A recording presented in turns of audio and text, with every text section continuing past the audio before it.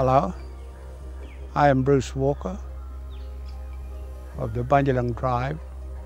I was born at a place called Turtle Point, our old reserve, back in the 1940s. I grew up there before we went to the along the riverbank, chasing our wildlife, food, living on fish, turtles, whatever it may be. Then we moved over to a place to where we live now, the, the new reserve, Tabulam Village. We was under manager's control. Had to be very strict at the time. Not like the freedom we got today, but at the time growing up, and we had to be subject but through it all, I believe God had his hands upon me.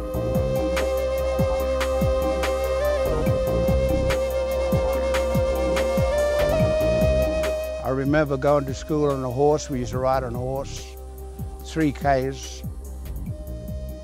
My uncle was there. An elder, Eric Walker with his name, opened the gate for me and I still remember these words as plain as, as though they happened only yesterday. He said, Galababara, Nyarlela Gali. He said, there's somebody watching you at all times. It could have been from that time, something within me happened spiritually. Something, God deposited something in my life. As I was riding along with, there's a big tree on the road. I pulled up and I looked up into that tree. I was looking up into the heavens. And I said, hey, if you're there, come reveal yourself to me. I want to know you more. But little did I knew the plan of God. Growing up, I always thought about the Lord. I never drank. I never smoked in my life. God didn't allow me going down that track.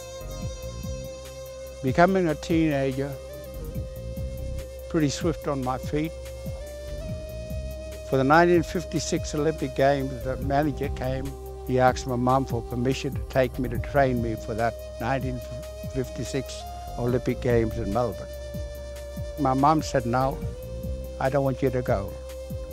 100 meters, I would raced against, against the great Jesse Owens. But God had put me in another race. He's put me in this other race that I can run. Run to be a messenger for Him.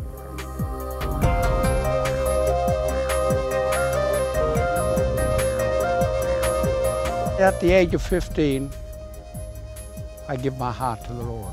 In our little church at Tabulam, where God was moving mightily amongst the elders. And I gave my heart to Jesus there. Found a beautiful girlfriend. 12th of March 1960. That's when we get married.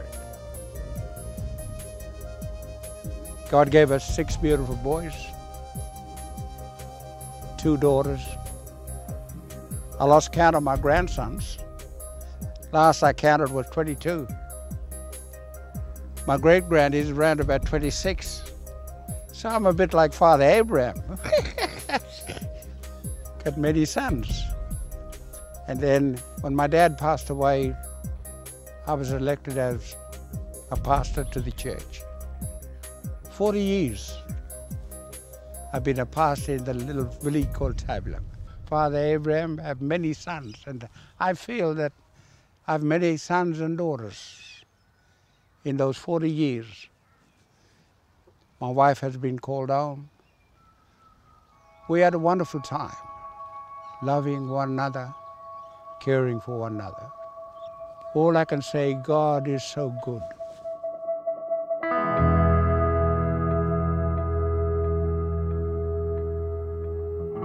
There's got to be a change.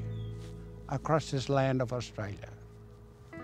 If we stay in God's ordinance, we'll have all the blessing and all the beautiful thing what God offers us.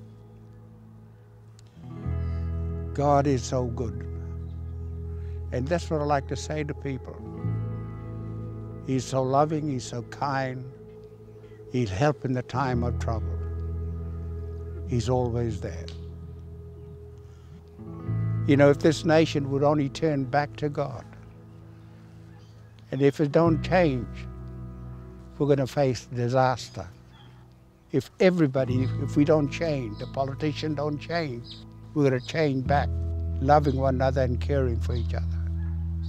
What He's put down within the Word for us. Love the Lord with all our heart. He will look after it, this great land of ours. If the people only come back to God, God is calling this nation back to repentance. He loves everybody, no matter who it is. Because the word says God is not willing that any should perish, but that all should come to repentance. If we turn back to our first love towards God, God will restore this old land of Australia. You'll see things that you never seen grow before will grow in this great land. Family will be saved. Everybody will be living in harmony. You know, they'll be rejoicing. They'll be singing, shouting, praising the Lord all over the place if this nation will only turn back to God. You know what he promises? He said he will take away every sickness, every disease. It'll be heaven on earth if we can only just turn back to God.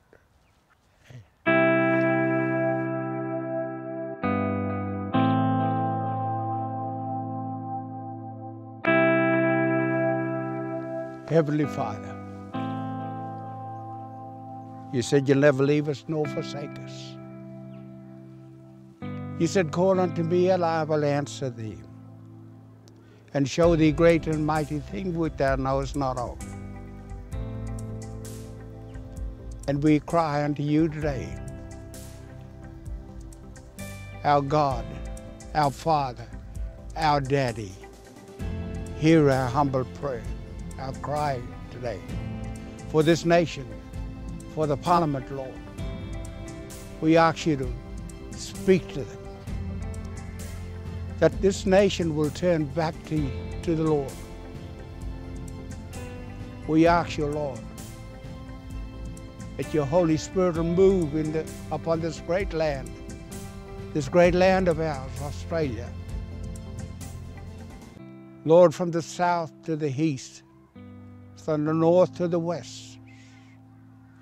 Lord, the people will come and turn back to you. They will surrender back unto you. Saying, What must I do to be saved? Lord, we can show them nowhere else but tell them to come to the cross where you bled and died for our sin.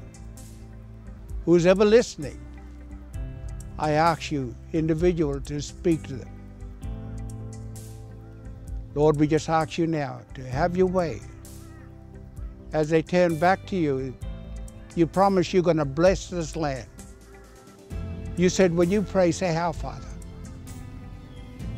who art in heaven, hallowed be thy name.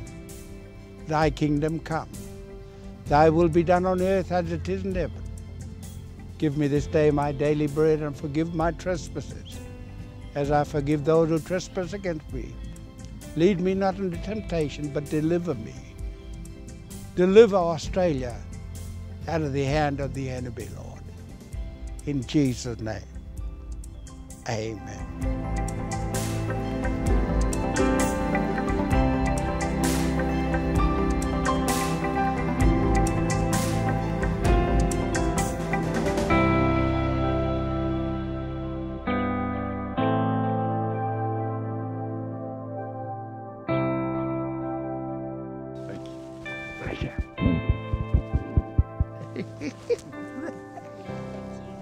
God bless you. yeah, I feel you like Father Abraham.